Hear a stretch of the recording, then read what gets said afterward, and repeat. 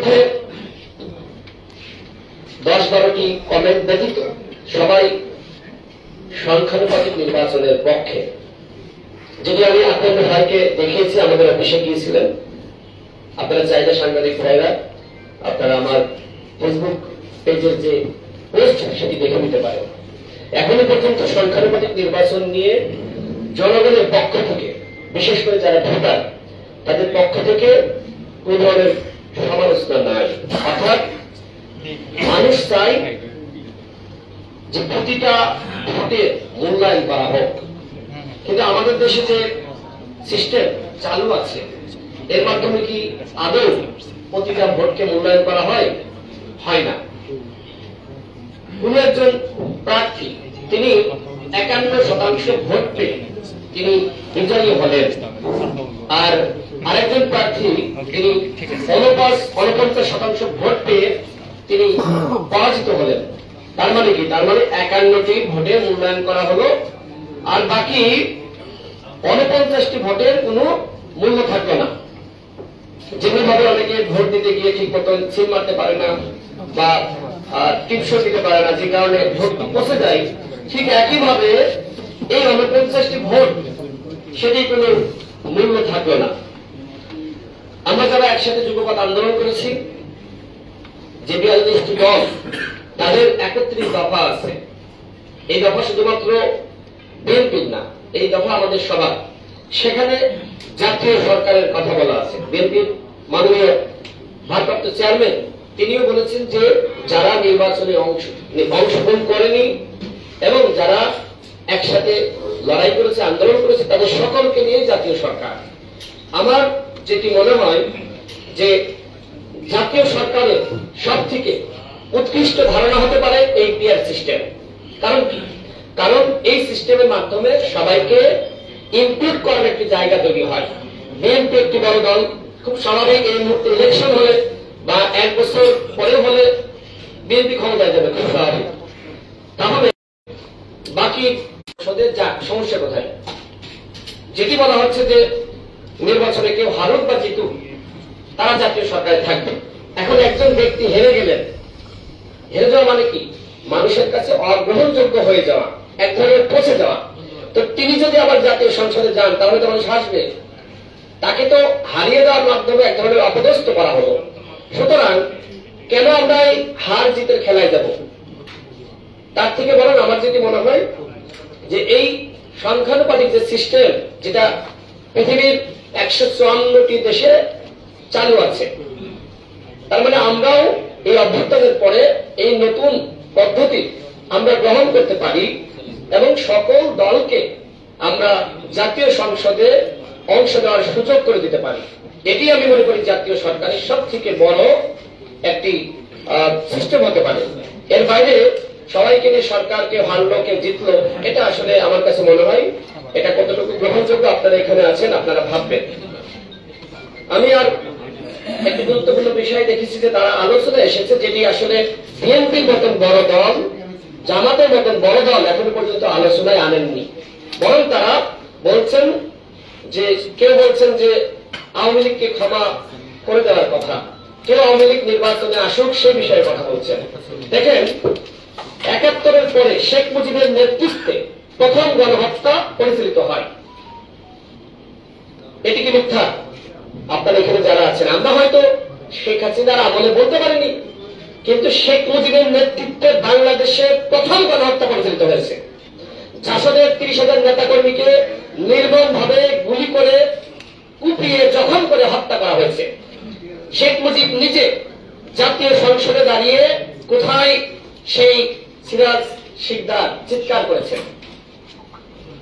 এবং ওই সময় আওয়ামী লীগকে তিনি বিলুপ্ত করেছেন, সংবাদ মাধ্যমের কণ্ঠরোধ করেছেন। যা যা করা শেখ হাসিনা এই আমলে যা যা করেছে তার বাপ তার থেকে বেশি করেছে। পরবর্তীতে শেখ হাসিনা মাপ চাইল নিল ঘুমটা পড়ল, বাংলাদেশের মানুষের আবেগ নিয়ে খেললো, বাংলাদেশের মানুষ তো খুবই আবেগ প্রবণ তাকে ক্ষমা করে দিল। আওয়ামী লীগকে ভারতের পৃষ্ঠপোষকতায় তারা ক্ষমতায় আসলো। ক্ষমতায় আসার পরে তারা সমস্ত দলকে এক ধরনের ব্যান করে দিল। নির্বাচনে অংশ নিতে দেয়নি, ভোট করতে দেয়নি, এবং পরবর্তীতে ক্ষমতায় থাকার জন্য গণহত্যা চালিয়েছে। দ্বিতীয়বার, যে আওয়ামী লীগের ব্যানার ব্যবহার করে বাংলাদেশে দুইবার গণহত্যা হয়েছে, সে আওয়ামী লীগকে বাংলাদেশে রাজনীতি করতে পারে। এই ব্যানারটিকে এখন ব্যান করতে হবে। আওয়ামী লীগের যারা গণহত্যার সাথে জড়িত, তাদের প্রত্যেককে বিচার করতে হবে।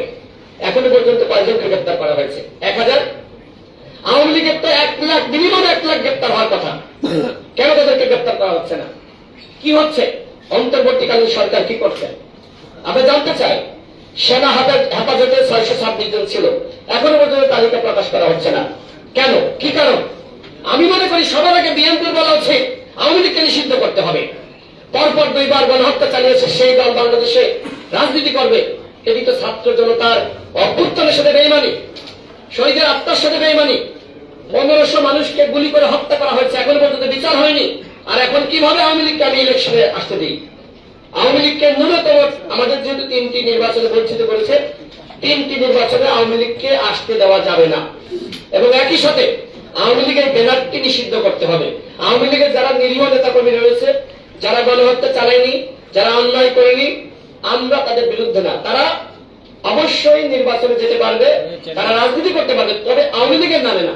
তারা ভিন্ন নামে, বিশেষ করছে এক মিনিট সময় নেব। ভিন্ন নামে রাজনীতি করতে পারে। সুতরাং বিএনপি জামাত, ইতিমধ্যে জামাত যে লোকটাকে হাজির করেছে, সেখানে কিন্তু আওয়ামী লীগ নিষিদ্ধের কথা নাই। গণহত্যা বিচারের কথা নাই।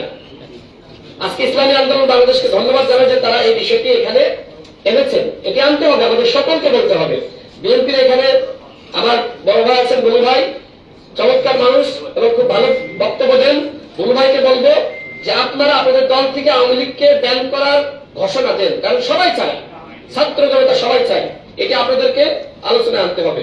সর্বশেষ আমি যেটি বলতে চাই, দেখেন এই যে সংখ্যানুপাতিক যে বিষয়টি এই মুহূর্তে আলোচনায় এসেছে, এটি অত্যন্ত গুরুত্বপূর্ণ। আপনারা একটু ভাবেন। অনেকে হয়তো আমরা মনে করি যে এই, কেউ মনে করছে যে এই পদ্ধতির ইলেকশন হলে আমি এমপি হতে পারব না। কিন্তু বিষয়টি আসলে দেশের জন্য অভ্যুত্থানের পরে এটি প্রয়োজন। সকলকে নিয়েই সরকার, সার্বজনীন একটি সরকার যদি আপনি গঠন করতে চান, তাহলে এই পদ্ধতি আমাদেরকে অনুসরণ করবেন। আরেকটি বিষয় সেটি হলো, দেখেন এই উপদেষ্টা পরিষদ, তারা আসলে দেশ কন্ট্রোল করতে পারছেন না, যেটি বক্তব্যে এসেছেন। কারণ এইখানে যারা আছেন, তারা অধিকাংশই আসলে এনজিও সেক্টরে তাদের অভিজ্ঞতা আছে। কিন্তু রাজনীতি, দেশ পরিচালনা, এক্ষেত্রে তাদের দক্ষতার ঘাটতি রয়েছে। সুতরাং আমি মনে করি, তিনজন ব্যক্তির মাধ্যমে একটি মিনিস্ট্রি এটি কখনোই সম্ভবপর নয়। তারা যেহেতু আঠারো মাস থাকতে চায় বা দুই বছর থাকতে চায়, সুতরাং একজন ব্যক্তি, একজন একটি মিনিস্ট্রি সেটি করতে হবে। অন্যদের এখন যে অবস্থা, পুলিশ কথা শোনে না, সচিবালয়ের কর্মকর্তারা কথা শোনে না, কেউ কথা শোনে না এই সরকারের একজন ব্যক্তিকে একটি মিনিস্ট্রি অর্থাৎ উপদেষ্টা পরিষদকে বড় করতে হবে, এবং এই যে দশটি কমিশন গঠন করা হয়েছে, এই কমিশন গঠন করার মাধ্যমে এই সরকার তো সর্বপ্রথম কর্তৃত্ববাদের পরিচয় দিয়েছে। কার সাথে আলোচনা করল? কোন দলের সাথে আলোচনা করেছে? দশটি কমিশন গঠিত হয়েছে, কারোর সাথে আলোচনা ছাড়া। সুতরাং এই কমিশন কতটুকু জনগণের কাছে গ্রহণযোগ্য, সেটি আমাদের আলোচনা করা দরকার। এবং সর্বশেষ যেটি বলব, শেখ হাসিনাকে দেশে ফিরিয়ে আনতে হবে। ওবায়দুল কাদের স্বরাষ্ট্রমন্ত্রী আসাদুজ্জামান সহ যারা পালিয়ে গেছে, তাদের প্রত্যেককে ভারত থেকে বাংলাদেশে ফিরিয়ে আনতে হবে এবং গণহত্যা বিচার করতে হবে। অন্যথায় আপনি কার বিচার করবেন? এই যে চুনোপটি, এই চুনোপটিদের বিচার করে কোনোভাবেই গণহত্যা বিচার সম্পন্ন করা যাবে না। শেখ হাসিনাকে ফিরিয়ে আনতে হবে এবং তাদেরকে বিচার করতে হবে। এটি দেশের জনগণ চাই ইসলামী আন্দোলন বাংলাদেশকে অসংখ্য ধন্যবাদ যে এই পিআর সিস্টেম নিয়ে আজকের এই গণটেবিল আলোচনা করেছেন। গণ অধিকার পরিষদের পক্ষ আমরা এই পিআর পদ্ধতির প্রতি আমরা সম্মতি পোষণ করছি, শতভাগ সম্মতি, এবং জনগণকে এই বিষয়টি বোঝানোর জন্য আমরা ক্যাম্পেইন করছি। আশা করি বিএনপি বড় দল, তারা উদার মনার পরিচয় দেবে, এবং এই পদ্ধতিকে তার এই পদ্ধতিকে তারা স্বাগত জানাবে। আমরা সবাই মিলে আগামীতে জাতীয় সরকার গঠন করতে চাই, এবং জাতীয় ঐক্যমত প্রতিষ্ঠার জন্য পেয়ার পদ্ধতির কোনো বিকল্প নাই। ধন্যবাদ। অসংখ্য ধন্যবাদ, জনাব রাশেদ খানকে।